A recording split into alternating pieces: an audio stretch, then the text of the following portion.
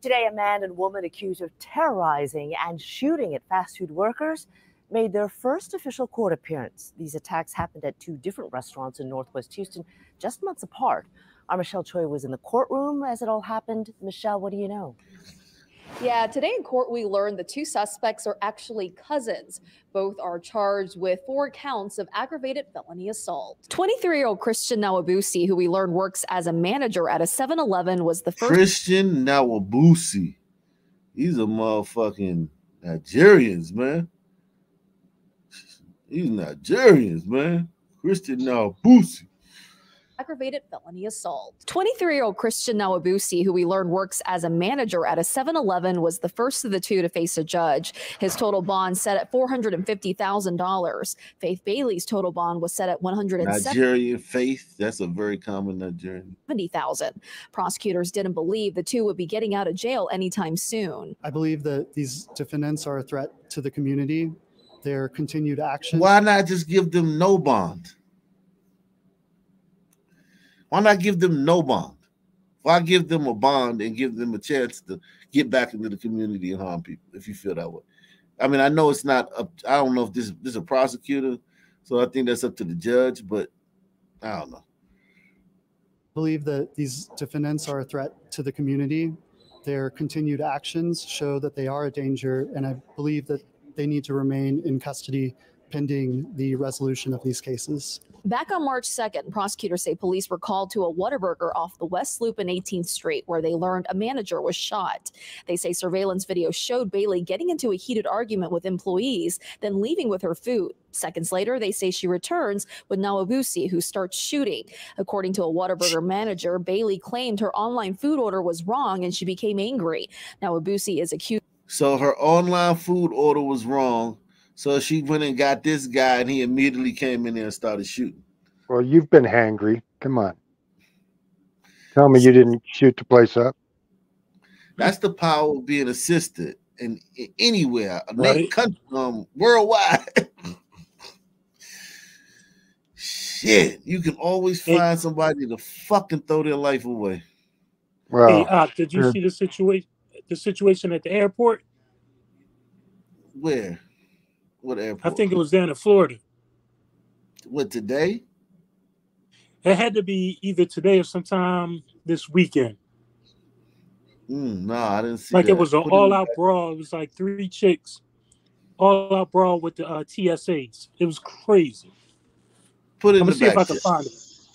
All right into a heated argument with employees, then leaving with her food. Seconds later, they say she returns with Nawabusi, who starts shooting.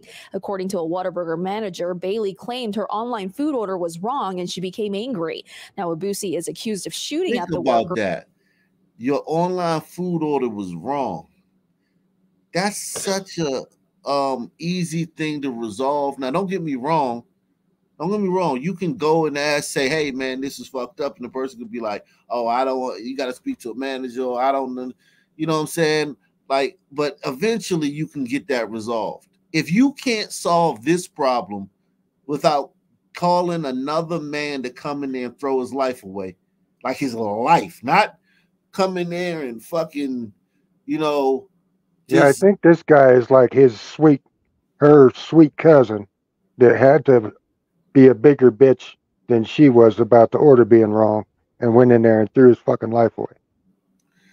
Yeah, but this is common though. This is oh, not absolutely. like yeah. This, no, this take, isn't a one-off. This is a yeah. You know, it family or fuck buddy, somebody will throw their life away for you. Apparently. Yeah, it don't take like being like some kind of like like type of person or this having this type of personality. All you gotta do is be black turns with Nawabusi, who starts shooting. According to a Whataburger manager, Bailey claimed her online food order was wrong and she became angry. Nawabusi is accused of shooting at the workers, hitting another manager in the arm before taking off with Bailey. Prosecutors say investigators later connected the cousins to a similar shooting that happened only a mile away at this Jack in the Box back in January. They say security footage showed them in the drive through and Bailey arguing with workers through a window. Shortly after, they say Nawabusi is seen seen shooting as Bailey curses and hurls items at the workers. Police say that altercation began after Bailey became upset she didn't get enough cheese on her taco. Fortunately, Jesus Christ. So, does anyone notice a pattern? And they want these people on the street. and they don't have no bond. They have a bond. It's just like what forty. They got to pay forty thousand dollars, but it's Houston, so they got to find a bondsman that'll take a payment plan, and they'll be out tomorrow. I mean, if it's if there's any justification for keeping somebody behind bars on a bond, it's shooting because there's not enough cheese on your taco. I mean, that's like, man, you you stub your fucking toe will set you off. Yeah, it's it's it's. uh, That's a low bar. That yeah, that is. I can't think of anything less stupid than that.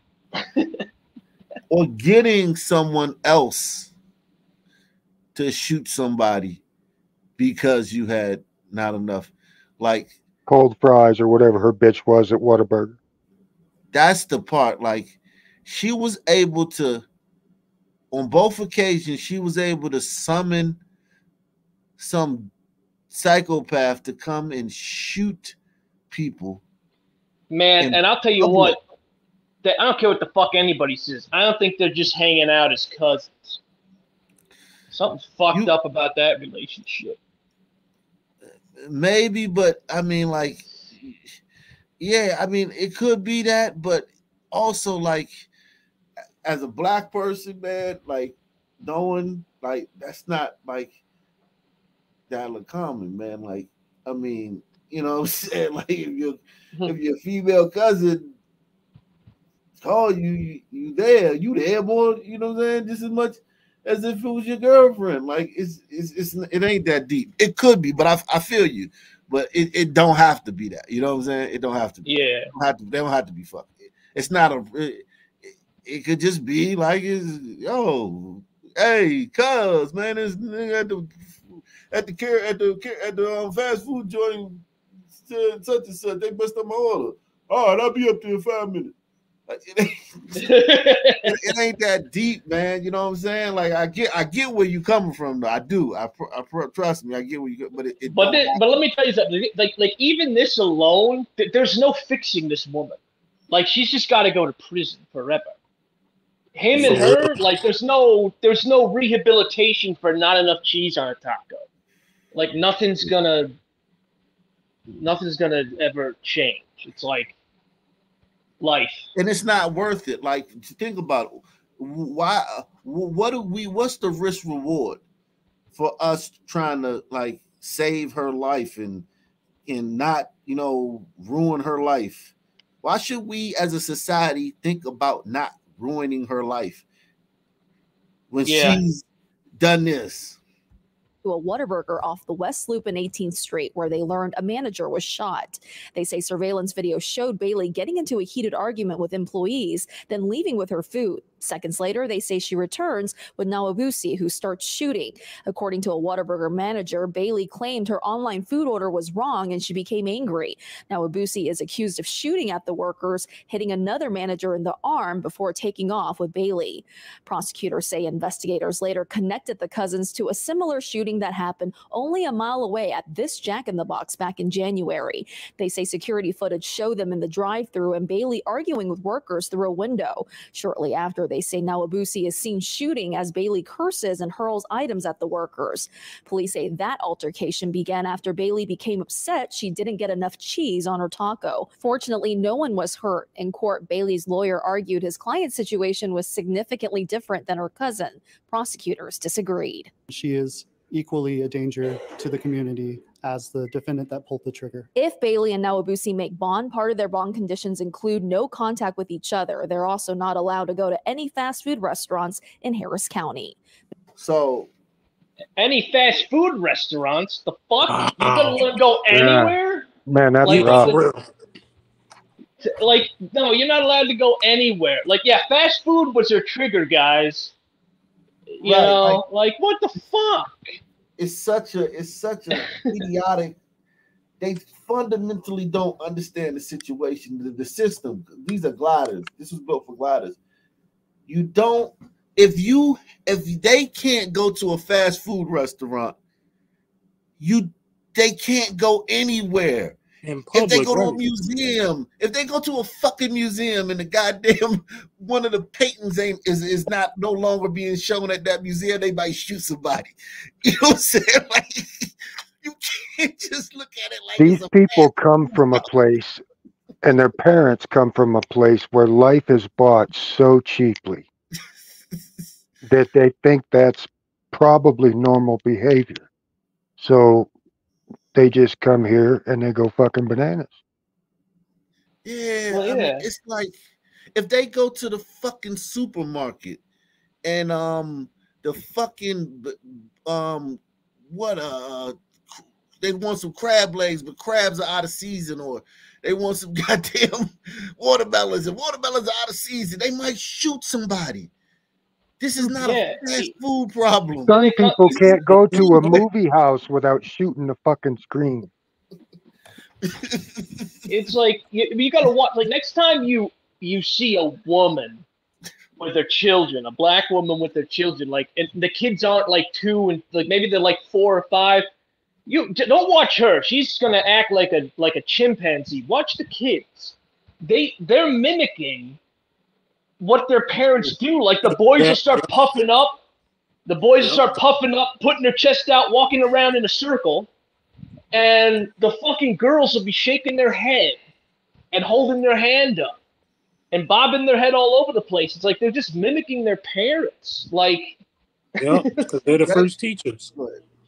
yeah, Reg- regular Degler says this is actually uncommon behavior for Africans. Oh man, you, you gotta stop thinking stupid shit like that, man.